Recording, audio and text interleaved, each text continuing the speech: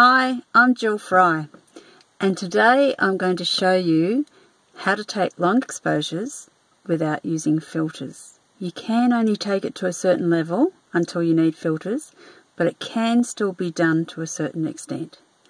So I'm going to show you how to do that at one of my favourite places just close by to me which is Nigretta Falls in southwest Victoria.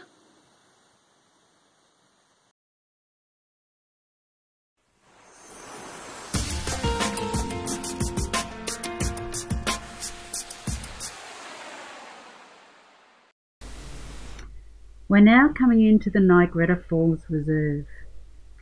As you can see, it's quite an overcast day, which is perfect for doing long exposures. If it was very sunny, we wouldn't get the results that we'd like to get. You won't get that smooth, silky water. So you really need to have a day that is overcast or towards the end of the day when the light is getting less. In this case, it's actually just after midday. So we're in the peak of the day. But with the clouds, we should be able to get some slow water happening. It's now mid-July and the falls are flowing just beautifully as you can see behind me. So let's grab the camera gear and we're going to head down to the bottom and uh, I'll show you what I can get. So the equipment you're going to need for this shoot is simple. You just need your camera and in this case I've got a lens that is 24 to 70 and also you're going to need your tripod.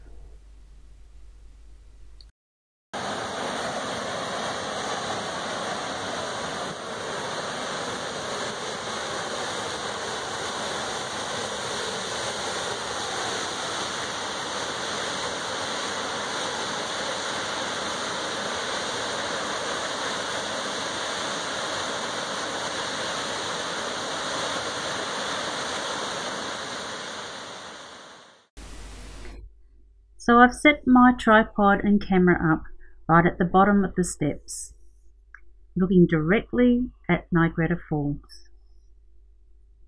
The first thing I do is I set the settings on my camera to be what I would normally take for a daytime shot. And in this case, it's 1 200th of a second, f8 and ISO 200. And as you can see, the resulting shot has frozen the water droplets as they tumble down the falls.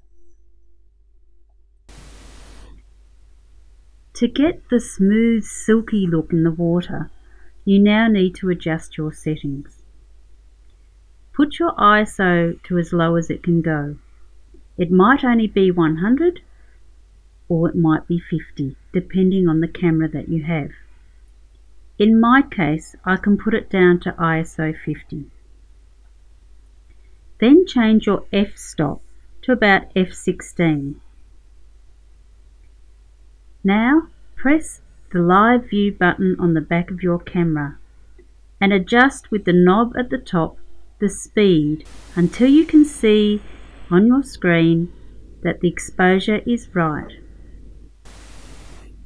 In this case it was one tenth of a second but I wanted to look more silky smooth so I increase the f-stop to f22. This then allows me to extend the time further and I was able to get one fifth of a second with the correct exposure.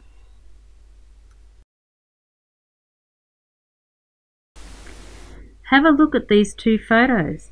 You can see the difference between one fifth of a second and one tenth of a second smooth, silky water. Just for experiment's sake, keep increasing the time each shot to see what difference it makes. Keep an eye on your histogram and you'll soon see when it starts clipping the whites on the right hand side and you know it's too much. If the conditions are not right and you're still not getting that smooth silky water then it's time to put on a neutral density filter. You can see the difference in the results by putting on this 10 stop filter.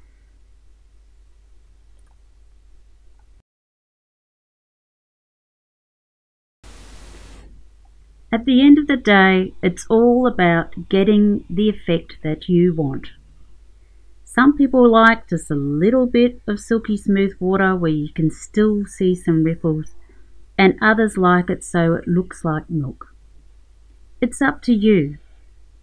So, first of all, you can try without a filter and you can get that smooth silky water to some extent. If you want the milky milky look, then you will need to look at a neutral density filter.